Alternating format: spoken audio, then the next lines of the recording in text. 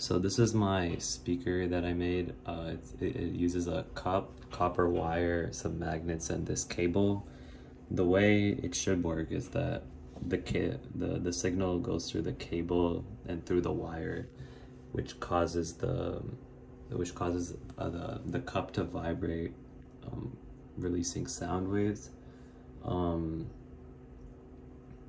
but unfortunately, it didn't work as it was intended because um, for a few flaws, which I'll go over in my summary, but mostly because I couldn't find the right, um, like the right clip to connect it, as well as like the right copper wire. The one that I've, the one that, the only one I could find was um, this one, which could work um, hypothetically, but it wasn't functional for this. But in terms of the concept and what I made, if all my parts were correct, it should have worked.